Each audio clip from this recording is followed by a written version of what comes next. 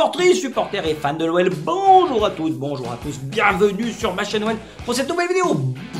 Oh oui, regardez, c'est le débrief et la vidéo du déplacement Stade de Reims hier pour la quatrième journée de Ligue 1 et le menu du jour qu'on va voir ensemble avec les trois points. Suivez les bouches comme d'habitude s'il vous plaît. Première partie, en un mot, c'était tout simplement affreux.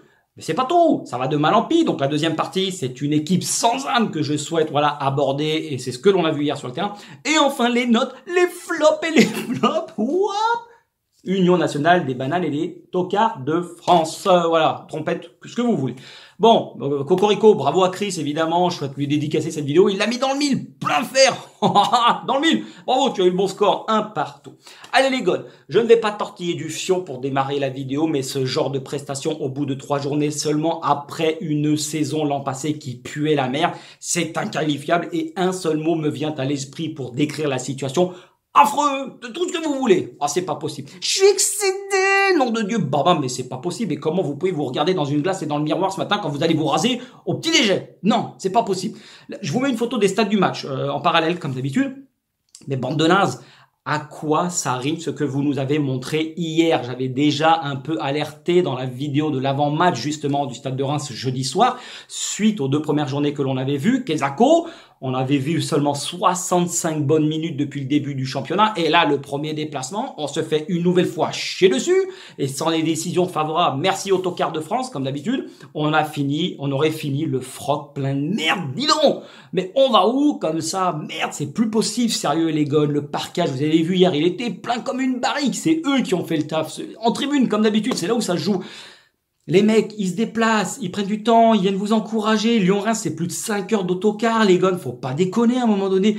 90 minutes d'une faiblesse technique abyssale incarnée par Gira et Toko. Mais tous les deux, on va y revenir parce que je vais pas vous rater. Hein. Je préfère vous dire, attention, vous allez, vous allez passer vos vacances à Londres tous les deux en buvant de l'acide on a vu exactement ce que l'on voyait l'an passé, c'est-à-dire aucun mouvement, aucun déplacement, le porteur du ballon qui lève les bras au ciel, on dirait qu'il est en train de prier.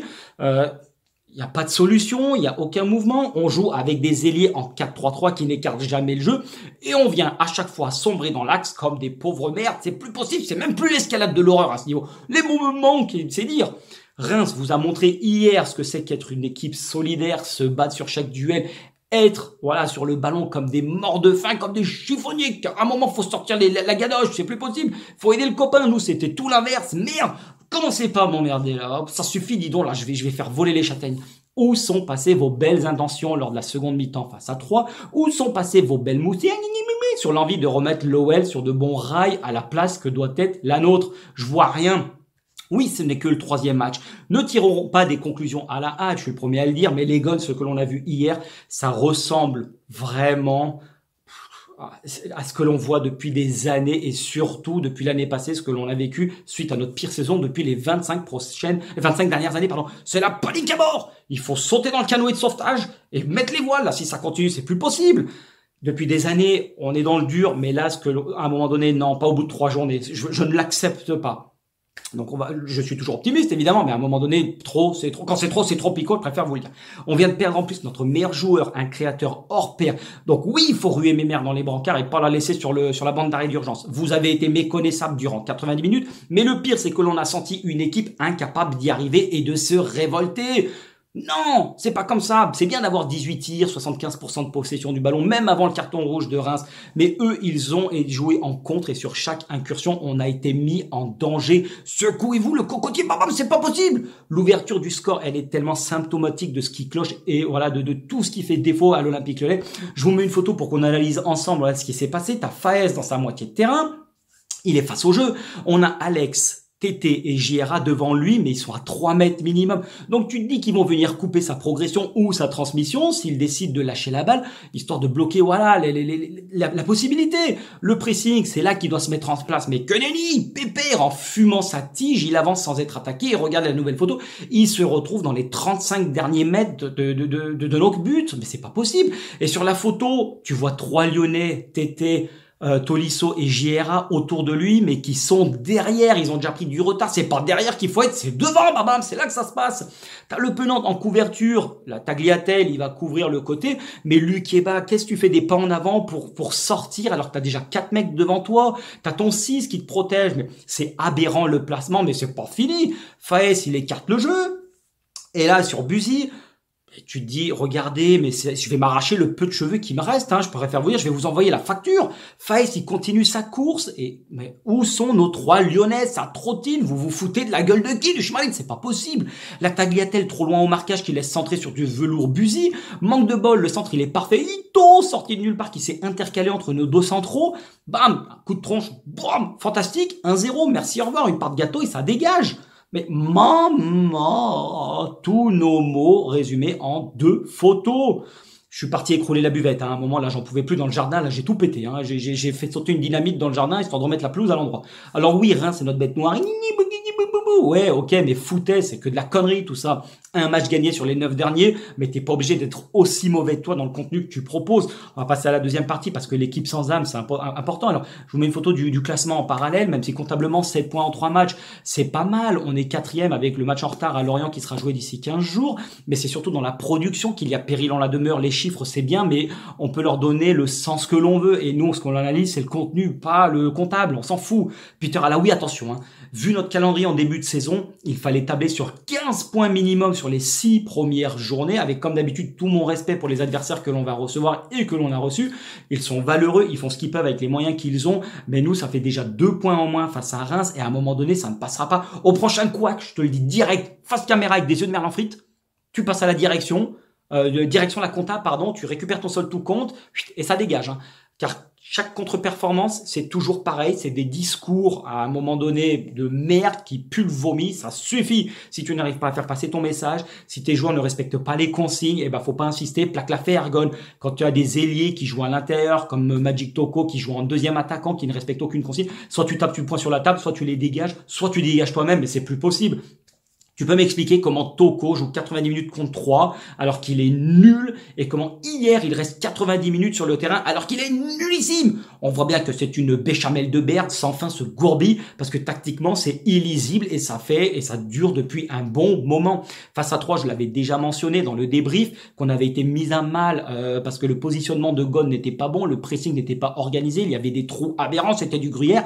Tu ne peux pas justement organiser ton pressing si ton équipe n'avance pas ensemble en bloc pour réduire les espaces entre les lignes et les lignes doivent avancer simultanément. C'est quenelle et Boulevardland là chez nous, c'est pas possible. Quand tu vois avec quelle facilité, pardon, Reims et bravo à eux, ils ont réussi en 3-4 touches à nous mettre dans la sauce, c'est incroyable de passivité parce que nos adversaires, c'est toujours pareil, regroupés derrière, bien en place et ça évolue en compte, jeu de transition et nous, bim, à chaque fois on se met dans la merde, aucune création, aucun moment, je vous l'ai déjà dit du côté euh, de nos ailiers. Les relayeurs, eux, n'arrivent pas à mettre l'impact physique et surtout à imprégner le rythme techniquement de la partie pour créer les décalages. Alex, il est esselé devant et derrière, ça se mouchait pas du coude. Il essayait de placer ses copains sans arrêt, mais on dirait que personne n'y panne rien et ne comprend son rôle. Vous courez partout, mais vous êtes nulle part.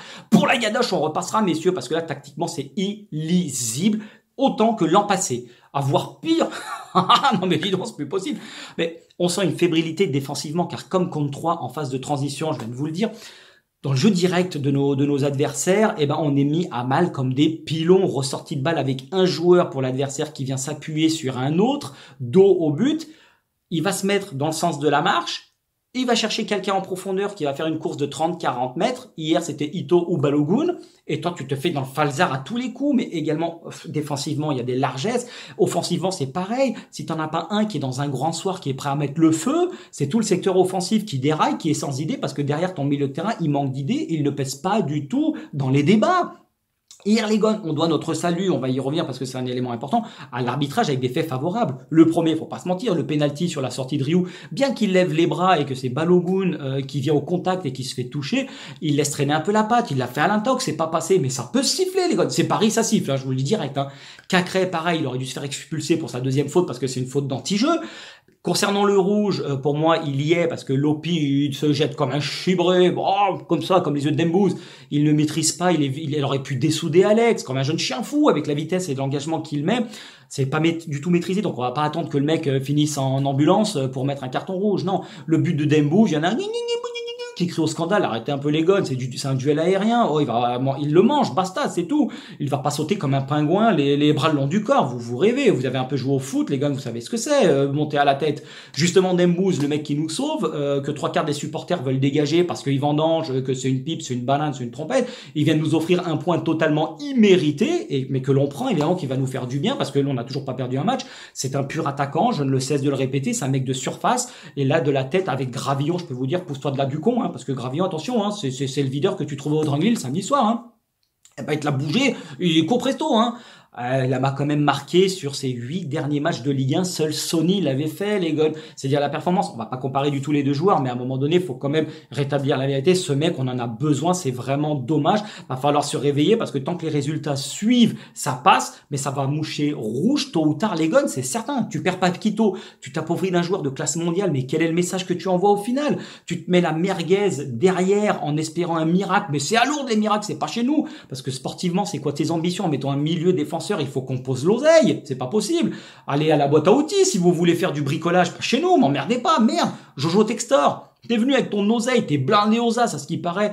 Tonton, pendant la conférence de presse avec Chérou, qu'est-ce que c'est que ces moustères? On va pas s'appauvrir, on va garder nos joueurs, on a de grandes ambitions, l'OL va devoir être européen, on va titiller le PSG, mais oh, vous foutez de la gueule du monde. Arrêtez le blabla, arrêtez de vous foutre de notre gueule, c'est pas possible. On veut des actes, on veut plus des paroles. Merde, fini le blabla. On finit par la dernière partie avec les notes, évidemment. Le seul top, c'est le Penant 5,5 le seul haut niveau qui a essayé de jouer en rythme et vers l'avant tout en s'arrachant voilà sur chaque ballon. Il a fait du mieux qu'il a pu même si c'était pas son grand match mais c'est déjà ça. On va passer au carton parce que là je suis énervé. Regardez ce que je vais faire. Oh c'est exceptionnel. Bam! Bam! Et bam!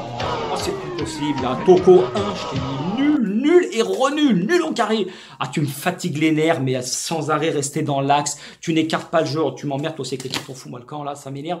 Aucune solution pour la tagliatelle. Tu ne sais pas jouer ailier. Il n'y a aucune percussion, aucun dribble, plus d'une dizaine de ballons perdus à toi tout seul, avec en prime une frappe qui aurait pu nous offrir la victoire. Tu ne sais pas d'où à la dernière seconde. Elle a fini sur le toit de la cathédrale de, Reims. Mais à un moment donné, faut arrêter. Le banc de touche va te faire du bien. Et quand je vois Peter Alaoui, là, qui te défend, à un moment donné, faut pas défendre l'indéfendable. Ça suffit. Non, il n'y a pas de passe droit. Le mec, il est mauvais. Il va sur le de touche. C'est comme ça un, grand club que ça se passe. Pas autrement. JR à 2,5, 14 ballons perdus en 45 minutes. Oh là là là, Dieu bénisse, la vérité au-dessus c'est le soleil. Des stats pareils, trop brouillon, tu multiplies les touches avant de lâcher la balle, aucune influence dans le jeu, tu t'es fait manger tout cru, tu cries, tu joues en chausson, en barbouche, en sabbat, là ça joue au ralenti, tu crois que, parce que tu es, ah, as une aisance technique qui est sûre, mais tu crois que les mecs en face ils ont pas la, la bah tu t'es fait manger et tu représentes à toi seul la défaillance de toute l'équipe lyonnaise pour ton retour, même si voilà, ça faisait un moment tu n'avais pas été titulaire, mais bon, faut, à mon avis, tu n'as pas su saisir ta chance, euh, et puis puis voilà, tu, tu, tu tiras sur le banc de touche. Hein. Lukeba, 3,5 à l'agonie tout le match, beaucoup d'erreurs individuelles dans la relance, une fébrilité, une fébrilité parfois qu'il a quand même réussi à rattraper, voilà, par sa vitesse et par son placement. Mais il a, tu as déteint sur tout le collectif. C'est la saison de la confirmation du Castello, mais là, en ce moment, tu, tu files un mauvais coton. Attention, placement hasardeux sur le but, tu te fais manger pareil. À un moment donné, il va falloir qu'on réagisse. J'aurais pu mettre beaucoup de monde dans les, dans les flops. Vous me dites ce que vous en pensez dans les commentaires. Et puis, vous me citerez les vôtres. Mais là, à un moment donné, moi, je n'en peux plus. On va se retrouver demain pour l'avant-match face à Auxerre. Je vous en ferai une rapidos parce que là, le, le, cœur n'y est plus. Mais si, le, le coach va faire le tas. D'ici là, portez-vous bien. L'Olympique Lyonnais est et restera une formidable raison d'être heureux. Un grand merci à toutes et un grand merci à tous d'avoir visionné cette vidéo. Dites-moi ce que vous en pensez justement dans les commentaires. Et puis, passez une belle fin de journée. Il fait beau. Sortez. Puis arrêtez de m'emmerder. Allez, ciao. Foutez-moi le camp.